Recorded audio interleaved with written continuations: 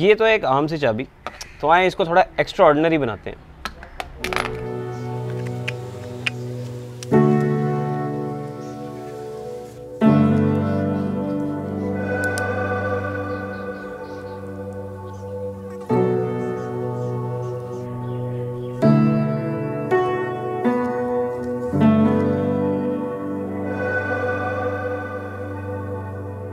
तो सिविक का की केस आप भी ले सकते हैं और ये दो कलर्स के अंदर हमारे पास अवेलेबल है, एक रेड और एक कार्बन इस बॉक्स के अंदर आपको तमाम वो चीज़ें मिल जाती हैं जिसके थ्रू आप इसको बना सकते हैं। कार्बन फाइबर केस इसका रबर कवर इसका स्क्रू ड्राइवर और इसके स्क्रूज तो किस चीज़ का वेट कर रहे हैं, आप भी अपनी पुरानी चाबी को नया कर सकते हैं। अभी लिंक में जाएँ और डायरेक्ट क्लिक करके घर बैठे ऑर्डर कर सकते हैं। इंशाल्लाह हाजिर होंगे नेक्स्ट टाइम एक और इसके साथ drive safe and drive responsibility अल्लाह हाफिज़।